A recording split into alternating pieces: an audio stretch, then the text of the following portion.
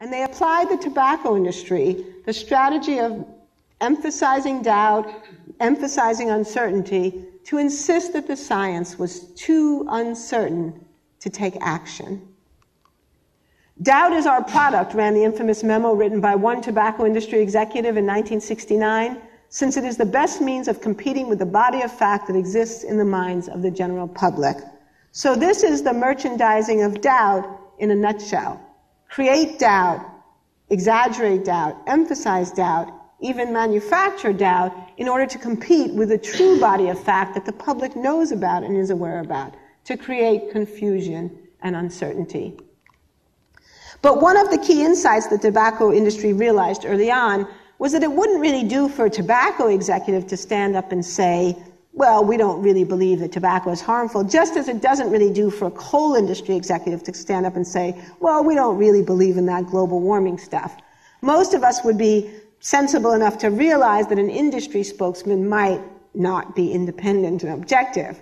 But if a scientist said it, and in particular if a distinguished scientist, such as a former president of the US National Academy of Sciences, said it, well, that was a whole different matter. And so the tobacco industry developed strategies for recruiting scientists. One of my favorite projects they had was something called Project Whitecoat, right, whose name tells you what it was all about. Recruit men in laboratory coats to give credibility to this campaign. So in our story, in our book, we, we describe and discuss how this group of scientists, the scientists at the Marshall Institute, supplied doubt, but not just about tobacco, but also about the reality of acid rain, the severity of the ozone hole, and the human causes of global warming. And we also discuss a kind of revisionist attack on the science related to the harms of DDT, which continues even today. These physicists denied the severity of all of these problems, and in every single case, over and over and over again, insisted that the science was too uncertain to justify government action. Now, to learn how they did it, you'll have to read the book, which is on sale outside. But what I'll do here is just give you a very, very brief summary of what the key parts of this strategy were. The short version of the story is the systematic misrepresentation of the scientific evidence and the systematic misrepresentation of the state of scientific debate, just as the tobacco industry did before. So we see them cherry picking data and t- taking data out of context. So one glacier in New Zealand that is retreating refutes all of the abundant evidence of global warming. Uh, one person who smoked five packs a day and didn't get cancer refutes all of the epidemiological evidence of the hazards of tobacco. Um, they would launch personal attacks on leading scientists, including, we saw recently, stealing the emails or attacking scientists at the University of Queensland, um, pressuring journalists to write balanced accounts. This is a big part of the strategy, uh, sending press releases and white papers and reports to journalists to create the impression of a genuine scientific debate, even when the vast majority of actual scientists working on it are in agreement. Um, and pressuring journalists so that if a journalist wrote an account that did not give equal time to their view, they would call the journalist, they would call the editor, and in some cases actually threaten lawsuits in order to get equal time for their view. And this issue of balance, we've seen that um, repeatedly used as a strategy in, here in Australia as well with the ABC.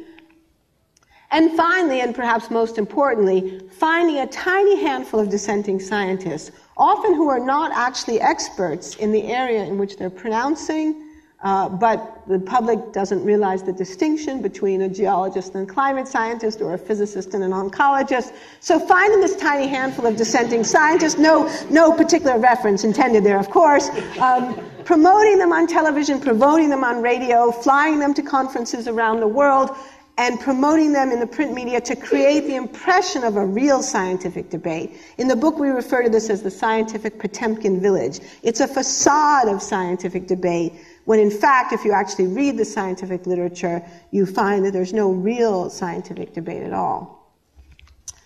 So, what I'd like to talk about now, then, for the rest of the talk, is what I think was, in a way, the most perplexing and interesting part of the story, which is why these scientists did this.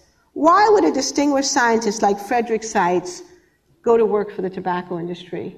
Why would a distinguished scientist like Robert Jastrow attack Jim Hansen, who he himself had hired at NASA? And why would Bill Nierenberg challenge the work of his own colleagues at the University of California? Why would these men risk their own reputations to engage in unscrupulous personal attacks on climate scientists? Well, many people assume that the answer would be money, that they sold out for filthy lucre, but in fact, we found no evidence in our research that any of these people personally benefited uh, financially from the work they did. I think that might not be true of some of the later people who join in, um, who have joined in more recently, but at least in the origins of the story, we find that the motivation is actually ideological. And it's the ideology that George Mar- Soros has called free market fundamentalism. Free market fundamentalism is perhaps the most extreme end member of a broader range of views that are, could be broadly categorized as modern neoliberalism. A set of political views focused on deregulation and on releasing the so-called magic of the marketplace. Neoliberalism came to prominence in the early 1980s under Margaret Thatcher in the United Kingdom and Ronald Reagan in the United States, and then later John Howard here in Australia. But its intellectual roots are deeper and earlier in the ideology of two key thinkers, Milton Friedman and Friedrich Hayek. Milton Friedman was an American economist. He's considered to be the founder of the, the, Chicago School of Economics. And his seminal work was published in 1962, interestingly, in the coldest moment of the Cold War, right around the time of the Cuban Missile Crisis. And its title essentially encapsulates its argument Capitalism and Freedom Friedman's argument was that capitalism and freedom are two sides of the same coin, and that if you want to ensure and protect and preserve political liberty, you must preserve, protect, and defend economic liberty as well. Why? Well, because when, com- when countries try to control an economy through a planned economy or five year plans, invariably they must control people too. Because the only way to control markets is to control the people who are the actors in those markets. And therefore, any attempt to compromise the free market will inevitably lead to a compromise in political and social freedom. So, without free markets, he argued, we're on the slippery slope to tyranny. Now, in the introduction to his book, Friedman acknowledges his debt to an earlier thinker, Friedrich Hayek, the Austrian uh, economist who's considered to be one of the founders of modern neoliberalism. Hayek fled Austria after the Anschluss, went to London where he became a professor at the London School of Economics, and he began to argue that Austrian fascism had actually arisen in response to the failures of socialism. And he became a passionate opponent of any form of socialism, not just Soviet style dictatorial communism, but even Western European social democracy, which he saw as a slippery slope to tyranny that would put us on what he called the road to serfdom. Now, the contrarians in our story take this argument even one step further. They argue that environmentalism is the slippery slope to socialism and therefore tyranny, because environmentalists almost invariably argued for government regulation.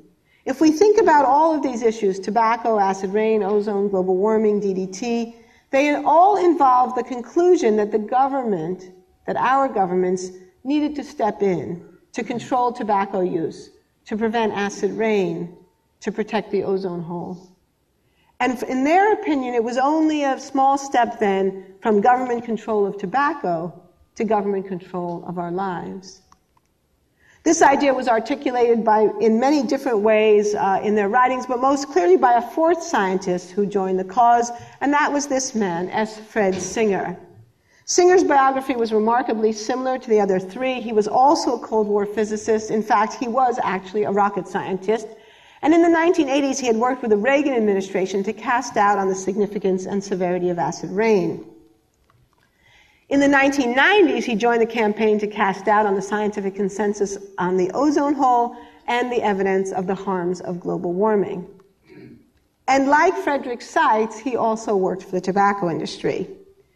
In the early 1990s, Singer joined forces with the Philip Morris tobacco industry to defend secondhand smoke.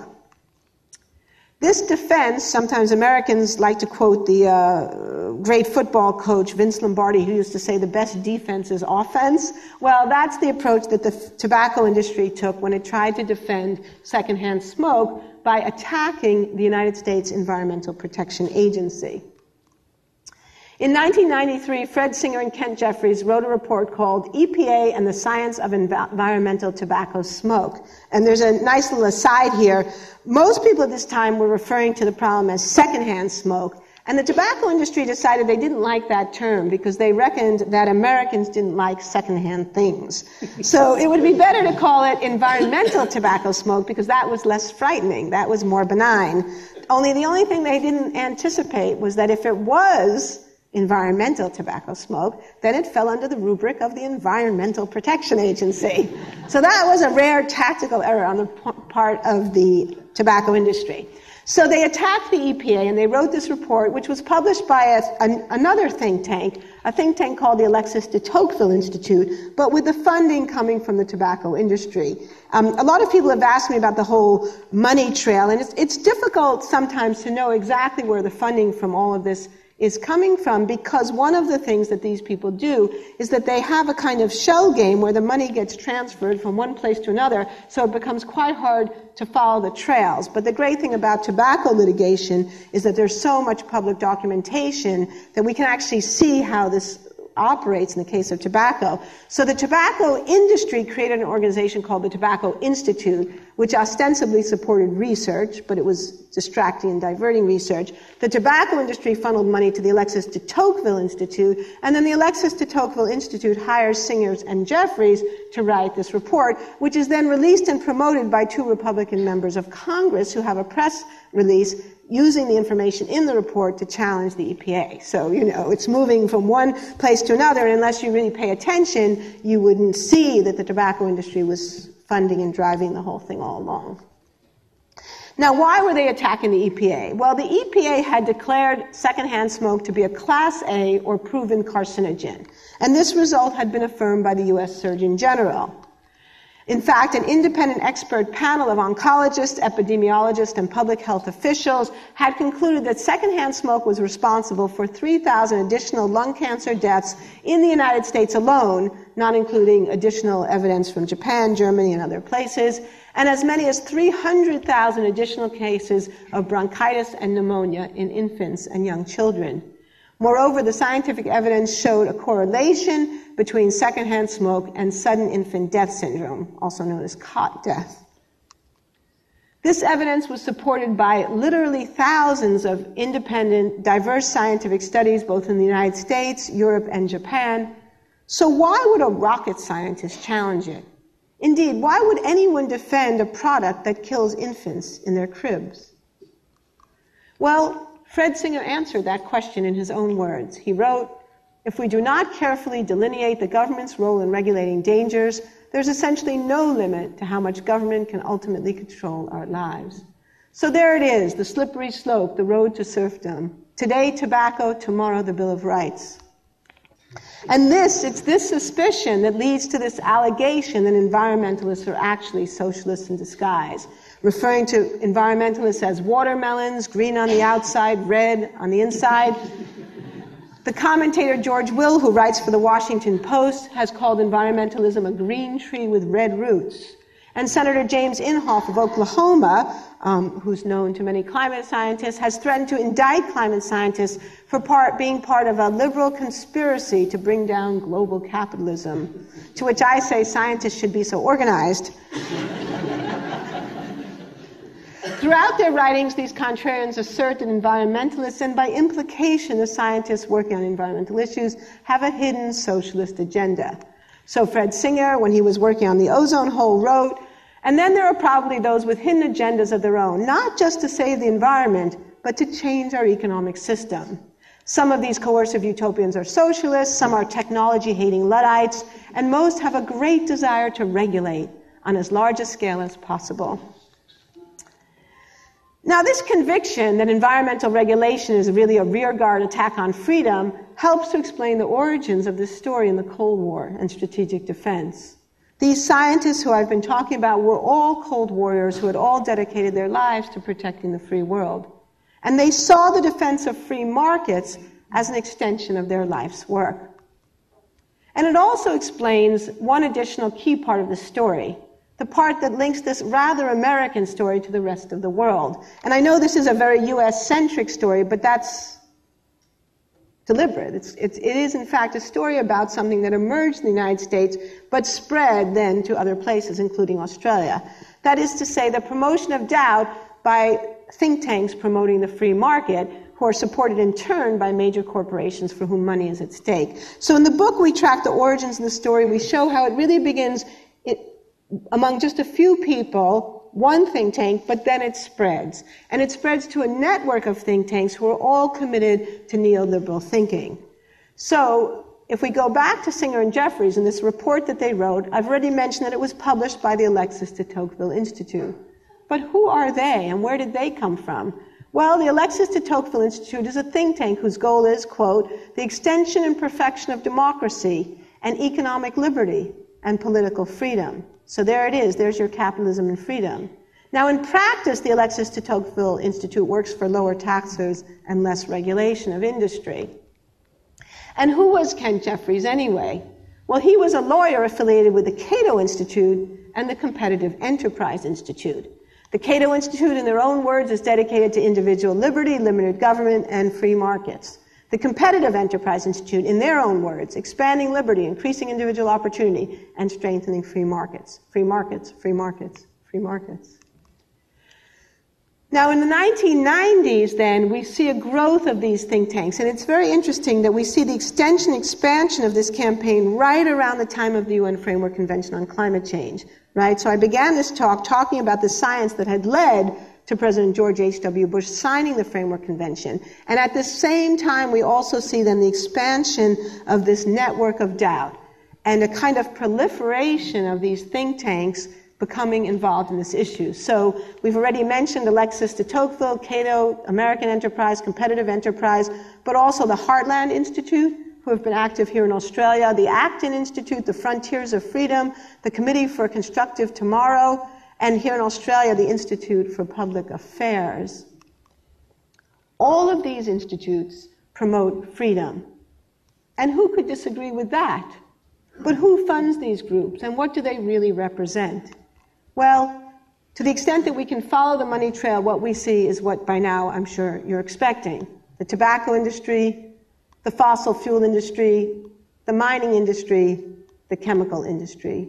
All regulated industries, all industries with heavy environmental footprints, all industries that stand to lose from government regulation. But rather than fighting regulation, rather than trying to defend against the obvious evidence of the harms that these industries can do, they hide it under these, the rubric of freedom and liberty. And also, much of the funding comes not necessarily directly from industries, although in many cases it is direct, but sometimes through libertarian foundations such as Olin, Scaife, Smith Richardson, Coors, and the Charles Koch Foundation. So we see these foundations, you know, in some cases we see these foundations funding the think tanks that fund the doubt mongering. And it's interesting if you look at these, with the exception of Coors, which is beer, all of these got their money originally from petroleum. But what of their allegation that environmentalism is actually socialism in disguise? Is there any truth to that allegation? Is there any truth to that suggestion? Well, we know something about the history of the origins of the environmental movement. And the origins of the environmental movement are not to be found in socialist or left wing politics, but rather in the progressive republicanism of US President Teddy Roosevelt, Gifford Pinchot, the first director of the US Forest Service, and of course that famous communist, John D. Rockefeller. Throughout the 1940s, 50s, and 60s in the United States, there was a bipartisan consensus on the importance of environmental protection. Indeed, when the Wilderness Act of 1964 designated over 9 million acres of American lands as areas where man himself is a visitor and does not remain. It passed the U.S. Senate by a vote of 73 to 12, and the House of Representatives by a vote of 373 to 1. In the 1970s, the Environmental Protection Agency, attacked by the tobacco industry, was founded and created by the Republican President Richard Nixon, who signed into law several key pieces of environmental legislation, including the Clean Air Act extension, the Clean Water Act, the Endangered Species Act, the Marine Mammal Protection Act, and the National Environmental Policy Act. And it's important to note, too, that these signature pieces, these landmark pieces of environmental legislation, became models for similar laws throughout the world, including here in Australia. Now, things did begin to change in the 1980s, and this is one of those historical contingencies that historians pay a lot of attention to. Things that just happened by chance but had important social, political, or economic ramifications. And the thing that happened by chance here is that in the 1980s, scientists, not environmentalists, but scientists, discovered a set of serious problems a serious environmental problems that were not amenable to local solutions, that could not be solved simply by setting aside a beautiful area of land around Yosemite or Yellowstone National Park or the Northern Territory, but problems like acid rain, the ozone hole, and global warming that seemed to demand national and international cooperation, that seemed to demand regulation of markets because certain products and activities were having serious environmental consequences. And these scientific issues discovered by scientists researching the natural world emerged just as the Reagan administration and the Thatcher administration were arguing for less government, less regulation, and also less internationalism. And it put the Reagan administration and later much of the Republican Party and really the whole ideology of deregulation on a collision course with modern science. Now, of course, the environmental movement has changed since the days of John D. Rockefeller, and some environmentalists might be socialists. But it doesn't mean the science is wrong.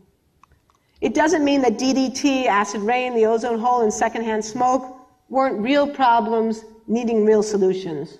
Problems that don't go away by denying them, by putting your head in the sand, or by attacking the scientists who, who revealed those problems.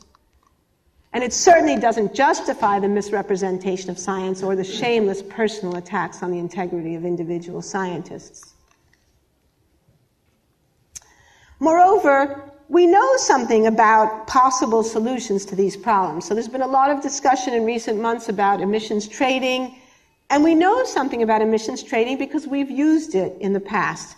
In the United States and in Europe, emissions trading was implemented in the 1990s to control the pollution that causes acid rain.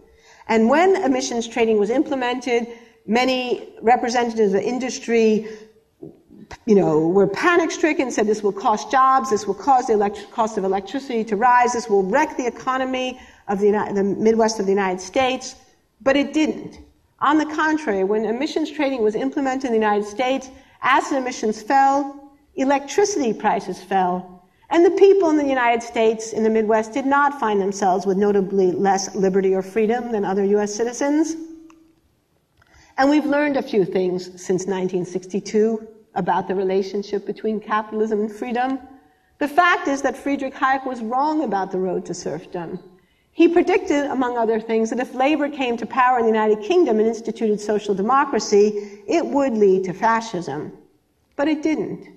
Indeed, virtually every major European country after World War II England, France, Germany, Sweden, Norway, Denmark, the Netherlands all instituted some form of social democracy, and none of them became fascistic or tyrannical. On the contrary, these countries all became more egalitarian and more democratic than they had been before the war. And Milton Friedman was wrong about the inextricable link between economic and political freedom. So just consider for a moment the recent histories of Chile and in China. In Chile in the 1970s, Augusto Pinochet overthrew a democratically elected socialist government and instituted a capitalist dictatorship. So just because you have capitalism does not mean that you have freedom. And in China today, we have a previously unimagined form of communistic capitalism that doesn't even have a name. I was reading literature to try to find out what economists even call this. Recently, some people have started referring to it as market authoritarianism. So capitalism, but without the freedom. And think about England, where capitalism was invented. In the 19th century, England prohibited the emigration of skilled workers. Which is why you got all these unskilled workers coming to Australia, right? No, just kidding. and think about the long history of slavery in the United States. So the slippery slope to socialism argument just isn't true. And we also know from history, as well as recent events from Wall Street to the Gulf of Mexico, that free markets require regulation to operate as free markets and to avoid the so called negative externalities, the costs that accrue to people who do not reap the benefits of those activities. That is to say, like the cost of carbon pollution. And finally, there's a deep irony at the root of this whole story. Because while we have delayed acting on global warming, we've delayed acting since 1992, since the UN Framework Convention was signed, and while we've delayed, the problem has gotten steadily worse. And many climate scientists now think that we are reaching, or perhaps have even passed, crucial tipping points that could lead to true crises.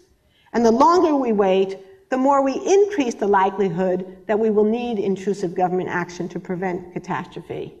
So, by fostering delay, the merchants of doubt have made it more likely that the very thing they most dreaded, intrusive government intervention and loss of liberty, might actually end up having to occur. Now, I would suggest that no one is an advocate of intrusive government, that no one opposes freedom or liberty. But as the philosopher Isaiah Berlin pointed out, there are trade offs, and liberty for wolves can mean death to sheep. This is Australia, so I should probably say dingoes. All societies accept some limitations on the action of others, because without such limits, there would be no civil society.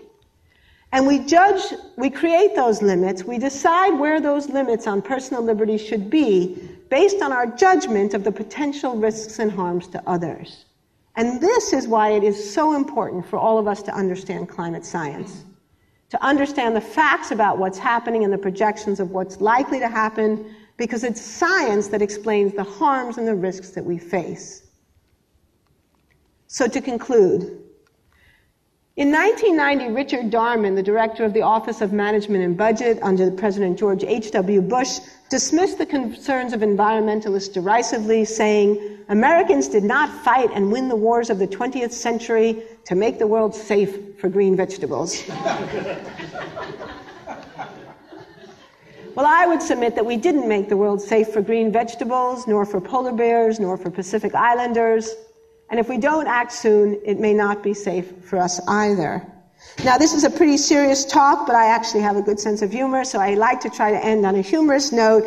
Uh, but the caption in the final slide is a little hard to read, so I'll read it to you. And it says, I'm sorry, Harold, but I'm reducing our carbon footprint. Thank you very much.